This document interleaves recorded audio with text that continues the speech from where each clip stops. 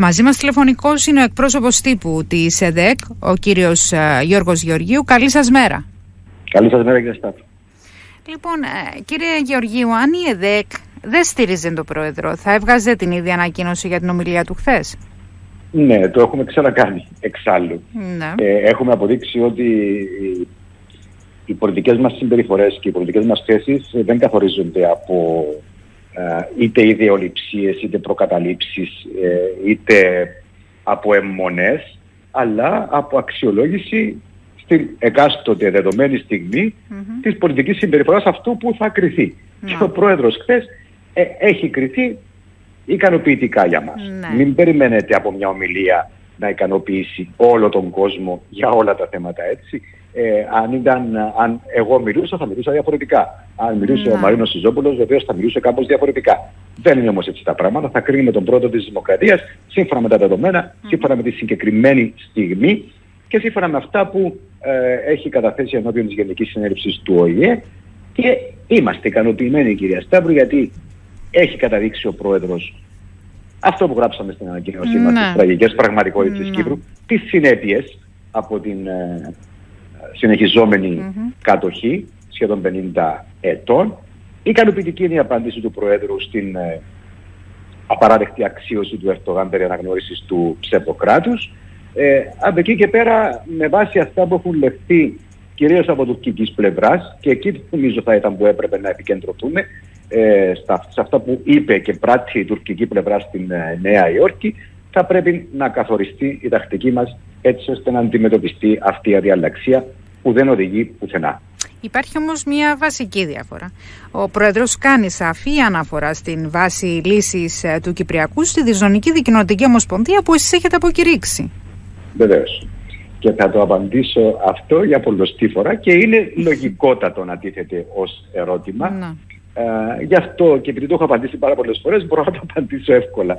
Ε, όταν ξεκινήσαμε τις διαβουλεύσεις μας με τον Νίκο Χριστοδουλίδη προεκλογικά, έχουμε πει πάρα πολλές φορές ότι έχουμε αποκλήσεις, έχουμε και συγκλήσεις.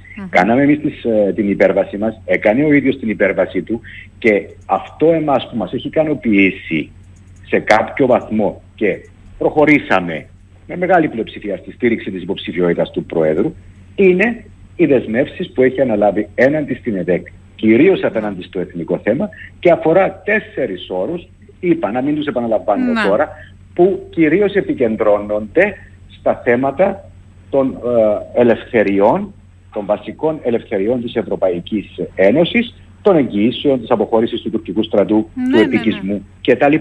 Λοιπόν, δεν ζητήσαμε ποτέ από τον Πρόεδρο να εγκαταλείψει τη θέση του για την ΔΕΛΤΑ Δεν ζήτησε ποτέ από εμάς να εγκαταλείψουμε τη θέση μας εναντίον της ΔΕΛΤΑ ΔΕΛΤΑΟ. Έτσι, ναι, άρα όχι, αλλά... υπάρχουν οι αποκλήσεις, ναι. υπάρχουν και οι συγκλήσεις. Θα μπορούσε όμως κάποιος να σκεφτεί, είτε είναι δημοσιογράφος και θα προχωρήσει σε μια δεύτερη ανάλυση, είτε είναι και ένας απλός πολίτης, ότι ε, έχετε ε, ε, επιλέξει αυτά που συμφωνείτε και θα βγάζετε ανακοινώσεις τώρα, ανάλογως με αυτά που συμφωνείτε και με αυτά που διαφωνείτε δεν, θα τα αφήνετε εκεί. Και πάλι δεν είναι έτσι τα πράγματα, γιατί ούκο λίγες φορές και δεν είναι ανάγκη το λεκτικό μιας ανακοίνωσης ή μιας τοποθέτησης να είναι ε, ακραιο και έντονο για να δείξει κάποιος ότι δεν συμφωνεί με κάποια ζητήματα. Το έχουμε πράξει και στη Βουλή και σε τοποθετήσεις μας. Έχουμε πει ε, παραδείγματος χάρη ότι για το θέμα των ε, ε, παροχών ε, της ε, κυβέρνησης, των μονομερών παροχών της κυβέρνησης προς τους Τουρκοκύπριους ότι πρέπει να γίνουν δεύτερες σκέψεις και έχουμε τις απόψεις μας για αυτό το ζητημα Έτσι, και θα το εκφράσουμε. Δεν είμαστε, μπορεί να θεωρούμαστε έντονοι ως κόμμα, όχι όμως ακραίοι και όχι προβοκάτορες. Δηλαδή δεν θα χρησιμοποιούσαμε εμείς ποτέ εκφράσεις του τύπου βλακώδης πολιτική, βλακώδης ενέργειες κτλ. ναι. δεν μας αρέσουν αυτού τους είδους εκφράσεις. Είμαστε έντονοι, όχι εμπαθείς. Οπότε, κυρία Σταύρου, εάν κάποιος παρατηρήσει τις τοποθετήσεις της ΕΔΕΚ, θα δει ότι πηγάζουν μέσα πράγματα με τα οποία δεν συμφωνεί με την κυβέρνηση. Και δεν είναι κακό αυτό το πράγμα. Το ότι είμαστε κοντά στην κυβέρνηση και προσπαθούμε μέσα από τη σχέση που έχουμε με την κυβέρνηση να περάσουμε κάποιες θέσεις που εμείς θεωρούμε σωστές, δεν σημαίνει αυτό ότι είτε ισοπεδώνουμε εμείς τις δικές μας θέσεις, είτε ισοπεδώνει η κυβέρνηση την πολιτική της, ο κ. Χριστοδουλίδης. Αυτή είναι η σχέση μας με την κυβέρνηση μας. Είναι ειλικρινής είναι ειλικρινής και η ειλικρίνεια δεν σημαίνει κατά ανάγκη και για όλα και πάντα συμφωνία. Μάλιστα. Μάλιστα, σας ευχαριστούμε πάρα πολύ. Να είστε καλά, καλή συνέχεια. Καλή συνέχεια.